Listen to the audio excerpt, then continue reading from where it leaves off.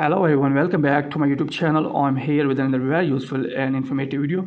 In this video, I'm going to show you how to fix unable to install app on iPhone device after updating it to the latest version. When you try to install app on your iPhone device, you face the problem unable to install. This app cannot be installed because its integrity could not be verified.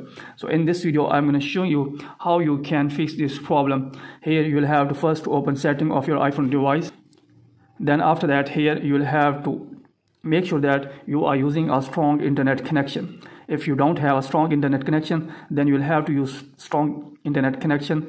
If you are connected with wi-fi device then you will have to turn off your wi-fi and again turn it on. After that here if you are using mobile data then same here you will have to turn off your mobile data and turn it on again after that check that the problem fixed or not. If you're having still this problem then you will have to scroll it below tap on general tap on software update and here you will have to make sure that you are using an updated version of iOS. If you don't have an updated version of iOS then you will have to update it to the latest version. And after that check that the problem fixed or not.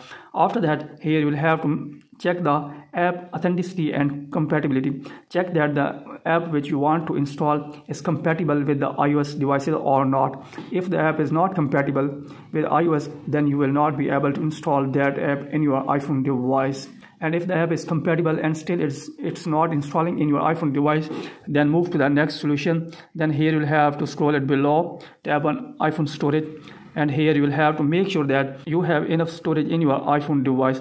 If here is any shortage of storage then you will have to delete some useless data and try later.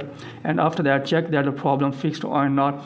If you are having still this problem then you'll have to scroll it below tab on date and time. And here you will have to make sure that your iphone date and time is correct and the set automatically is turned on toggle.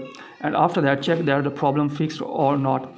Then if you are having still this problem then tap on background and app refresh. And from here make sure that the background app refresh is turned on from here. After that here you will have to go back then tap on screen time. Here you'll have to scroll it below tap on content and privacy restrictions then here you'll have to enable this toggle and tap on iTunes and App Store purchases. And here you'll have to make sure that installing app is allowed from here. And here don't require as check.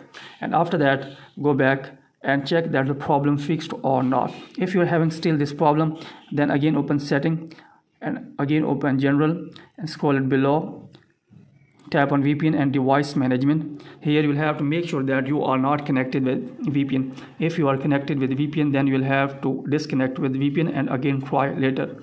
And after that, check that the problem fixed or not. If you are having still this problem, then you will have to tap on transfer or reset iPhone. Tap on reset and there here you will have to tap on reset network setting. And again try to install the app. If you are having still this problem then tap on reset all settings.